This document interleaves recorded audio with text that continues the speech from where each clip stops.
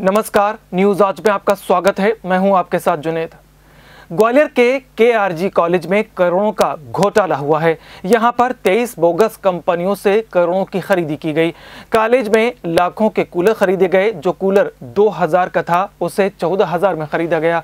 दलाली के लिए नियम विरुद्ध दो करोड़ की एफडी को एचडीएफसी बैंक में जमा कराया गया। शासन के पैसे के साथ धोखाधड़ी कर नियम विरुद्ध लगवाए कई कूलर। और जबकि यह पैसा छात्रों की पढ़ाई और उनकी सुविधाओं पर खर्च होना था। इस तरह पाँच करोड़ से ज़्यादा खर्च कर दिए गए। लेकिन कॉलेज में कोई विकास नहीं दिख रहा। यहाँ पर कागज़ों में ही लाखों के कैमरे खरीद लिए गए। तीन लाख की बैटरी भी खरीदी।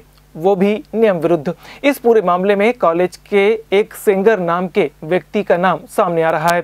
फर्जी कंपनियों के साथ मिलकर फर्जी बिल बनाने में एक्सपर्ट, घोटालेबाज, वर्तमान अकाउंटेंट अविनाश स्वर्णकार का नाम भी घोटाले में आ रहा है। इसी तरह स्टोर प्रभारी माला दुबे भी घोटाले में शामिल बताई जा रही हैं। और पाँच करोड़ तीस लाख मतदाताओं का भविष्य तय करें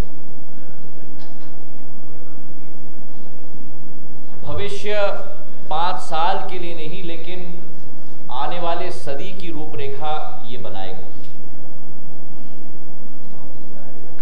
और जब वर्तमान में मध्य प्रदेश की जो स्थिति हो चुकी है,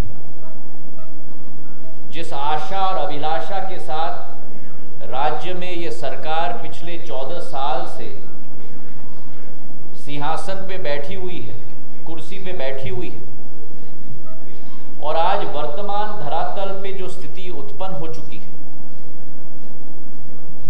एक बहुत गंभीर पूर्वक वातावरण आज मध्य प्रदेश में तैनात हो चुका है। जहाँ एक तरफ़ हमारे माननीय मुख्यमंत्री ग्वालियर से भूपेंद्र साहू की रिपोर्ट, न्यूज़ आज।